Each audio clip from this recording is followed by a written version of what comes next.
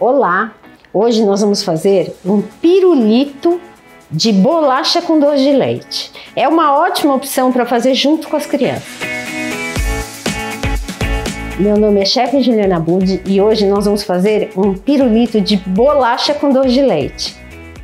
Mas antes, dê o seu like, compartilha e se inscreve aqui no canal. Para fazer essa receita, nós vamos usar um pacote de bolacha maisena ou bolacha Maria, ou até bolacha de leite. Você escolhe a bolacha que você preferir. Eu vou dar a sugestão para fazer com cookies, que ele fica mais gostoso ainda. Um pote de doce de leite ou uma lata de leite condensado cozido em ponto de doce de leite e 300 gramas de chocolate fracionado derretido. Eu gosto muito de usar um chocolate nobre, mas o chocolate nobre ele vai necessitar de um choque térmico.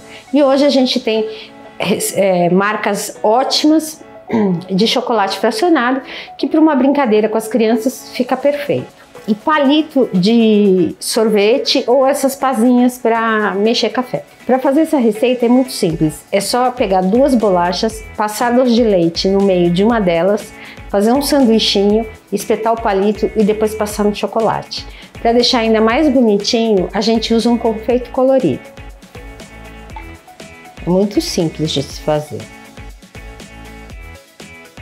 E você pode aproveitar e colocar as crianças para ajudar, que eles vão se divertir e vão adorar comer depois.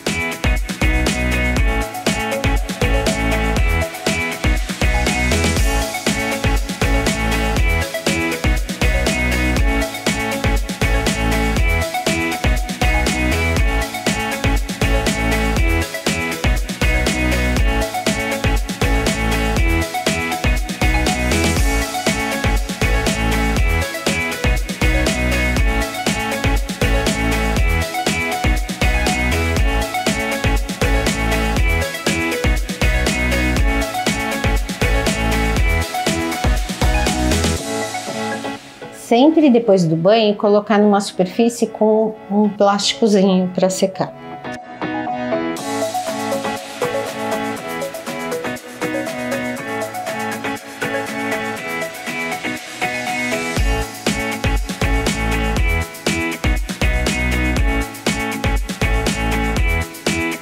Enquanto seca os últimos que eu passei no chocolate, eu vou mostrar para vocês como ficam esses pirulitos.